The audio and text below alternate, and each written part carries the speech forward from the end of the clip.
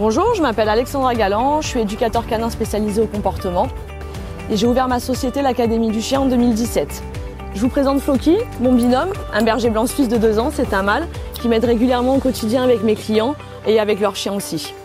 Dans ce métier, ce qui me motive et ce qui me passionne, c'est tout d'abord le contact avec le client et aussi avec le chien et le relationnel qu'on peut créer avec lui. J'apprécie également le facteur psychologique que l'on peut euh, rencontrer autant chez l'humain que chez le chien, de pouvoir partager les connaissances avec le maître et aussi le côté pédagogique, c'est-à-dire de former, de coacher le maître tout au long des séances d'éducation. Ce qui va rester le plus important pour moi, c'est le résultat final, c'est de voir vraiment l'évolution du binôme maître-chien évoluer vers quelque chose de beaucoup plus serein, que la relation soit beaucoup plus épanouie, plus saine et plus équilibrée. Alors les qualités indispensables pour être un éducateur canin spécialisé au comportement, euh, bien entendu ça va être la passion des animaux. Ensuite il va y avoir la patience, l'observation et la capacité d'analyse.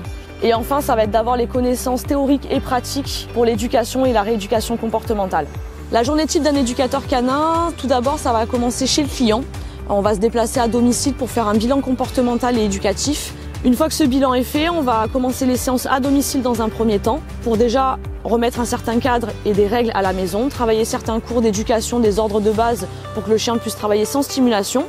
Et après, une fois que ça c'est fait, on va partir à l'extérieur, que ce soit en forêt ou en ville, pour travailler tout ce qui va être marche au pied, rappel et les différents ordres qu'on aura déjà vus à la maison.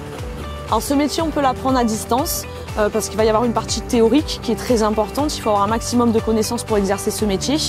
Après, ce qui va être intéressant, c'est de pouvoir faire un stage auprès de différents éducateurs canins pour avoir vraiment le côté pratique et avoir différentes situations à gérer aussi avec le chien.